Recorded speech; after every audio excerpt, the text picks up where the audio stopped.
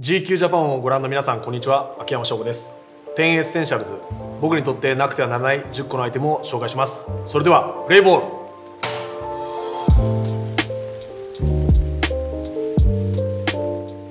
えー最初の、えーアイテムはこちらです。このグローブです。まずはしっかり守れることっていうレギュラーになるためには、えー守れないと出れないっていうのは散々言われたのでそれを今共にしてるグローブなんですけど、まあ、メジャーに行って3年間、まあ、これ同じグローブを使っていろんなとこにこう工夫を凝らしてもらって1年に1回メンテナンスしてもらって、え長く使うっていう自分の体に馴染むようにっていうのをすごくテーマにしてやってるんですけど、まあ、今のこだわりで言うとこの紐の角度ですね。ちょっと中にねこう折り込んでて入ってくるっていうのが今僕の中での特徴なんですけど、まあ、自然と閉じて力いらずにしっかりポイントまで持っていけるっていうのがグローブの今テーマになってます。一番長く使っていくものの一つなのですごく重要にしてます。ちょっと今ねたまたまもらったボールがあのちょっと映り悪いんですけどミネソタツインズって書いてありましたね。はい、マイケンがあのサヨナラ勝ちして帰ってきたボールを僕に投げ返してきたのを持って帰ってきたやつなんですけど、えー続いてのアイテムはこちらです、えーテーブルゲームですね。こういういろんな種類をですね買い揃えて子供たちにこうテーブルをこう囲んで一緒に、えー遊ばせたいっていう思いがすごくあって、まあ、それが派生して、まあ、友人だったりとかチームメイトでやることもたまにあったりしてテレビゲームってなったらずっと画面を見てるっていうのはすごくどうなのかなっていうのがあったのでこうコミュニケーションツールの一つとしてこういうのをえ使って遊んでます。子供たちにすごい人気がっていうか遊んでくれたのはこのペンギンが題材になってるやつだったんですけどまあシンプルで子供たちにもできる、まあ、さっきこのカードがすっ飛んでったのは UNO の進化版で UNO アタックってやつだったんですけどワンプッシュしてこの出た分だけカードを引き取らなきゃいけないっていう。であとはまあ今日はインフェルノっていうのはこれは自主トレの時に外国人のピッチャーの選手も入ってくれたりとかあと通訳とトレーナーも入ってくれてこれが一番人気ありましたね。このスカウト。だったりゼロっていうのが場に出てるカードとかを取り合ってっていながら自分の手を強くしていく。こういうカードゲームをやれる人今僕は募集してます。ぜひ。続いての僕のアイテムはこちらです。コーヒーですね。アメリカで、飲むようになって皆さんコーヒーすごい飲まれてて甘いものが好きでそればっかり飲んでたんですけどこの年にもなって周りを見渡すとブラック飲んでる人多いなっていうのもあったのでゆったりする時間のアイテムとして、はい、使ってます。いただきます。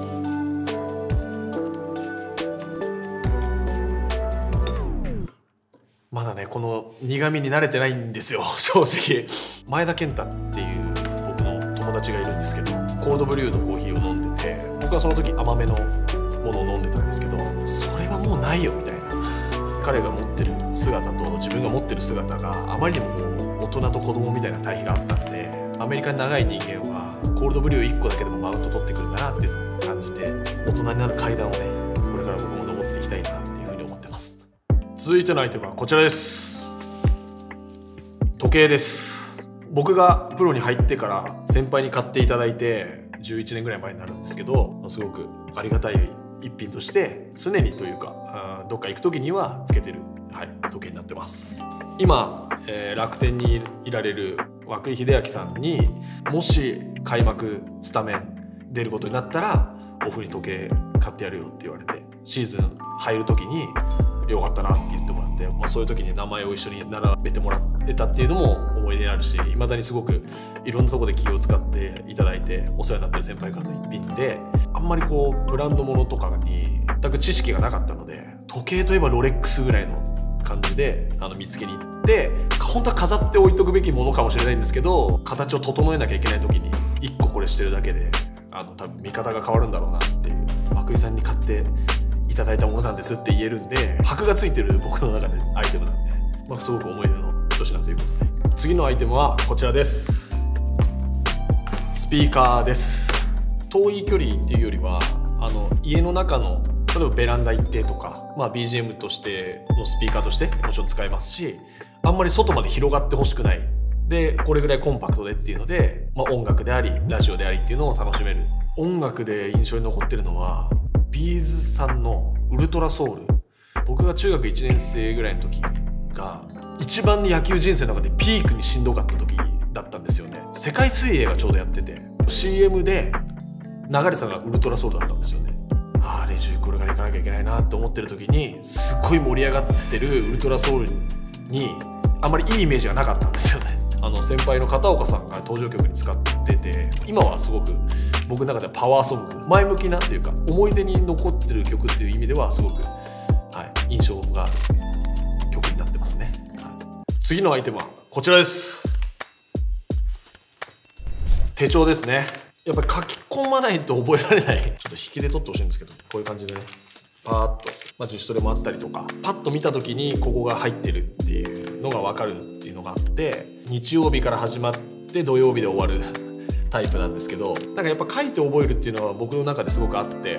まあ、アナログな人間だなって改めて思うんですけど月ごとのカレンダーとして見ておくとどこが埋まってて埋まってないかっていうのも分かりやすいので食事の回数が増えすぎたりとかどこに休みを入れるかとかっていうのもあったので、まあ、こういうふうにこうコントロールしていく手段としても使ってくれる感じですかね。埋まってるように見えますけど大したこと書いてないんで。え続いてのアイテムはこちらです。ラジオですね。ラジオを聴くのがすごい好きで日本の芸人さんだったりとかニュースとかも聞いたりするんですけどラジオの NHK だったんですけどそれを聞いてる時はこの携帯のえっとアプリラジルラジルとかラジコのタイムフリーとかを使ってこういう感じでいろんなのを、えー、聞きながらまあ、暇があればラジオをつけてるっていう状態なんですけど、まあ、喋るのも好きだったり人の喋ってるのを聞くのもすごく好きなので癒しの一つえー、続いてのアイテムは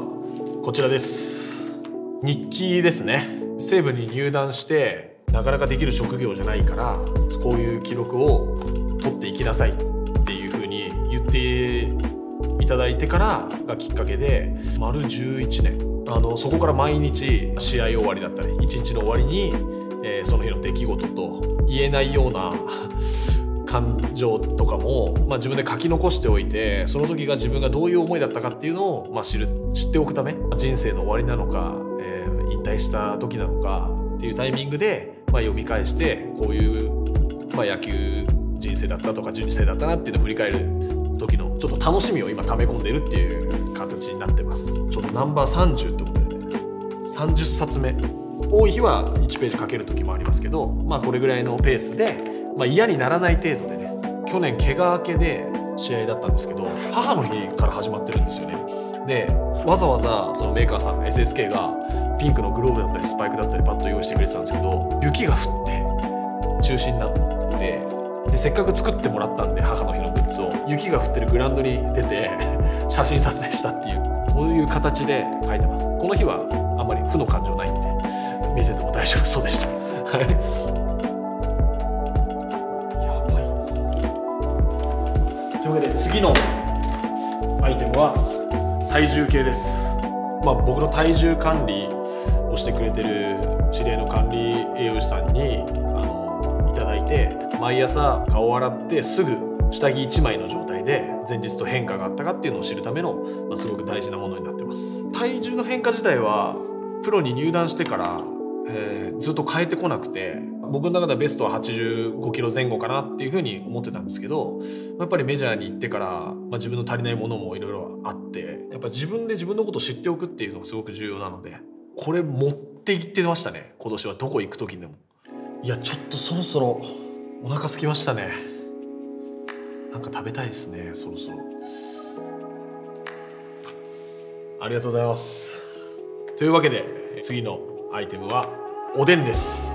というわけでいただきます。あの僕にとっておでんは母の味で基本的には串に刺さってるおでんっていうのがあの秋山家の、まあ、習慣で。あの日本に帰ってくる前に自分の自宅周辺におでん食べれるお店ないかなって調べるぐらいおでんがやっぱ無性に食べたくなるんですよね。アメリカだと意外とお寿司とかそういうのは揃ってたりするんですけどやっぱ鍋物ってすごい少なくて秋山家の味っていう感じがあってうん割と味が濃いめで実家のルーツが静岡にもあったりするのであの静岡おでんって濃いめにふりかけをかけたりするっていう食べ方もしてたんですけど、まあ、どっちも好きで、まあ、1位は何と言ってもやっぱり卵でしょう。じゃあ最後に1位の卵いただいて終わりたいと思います。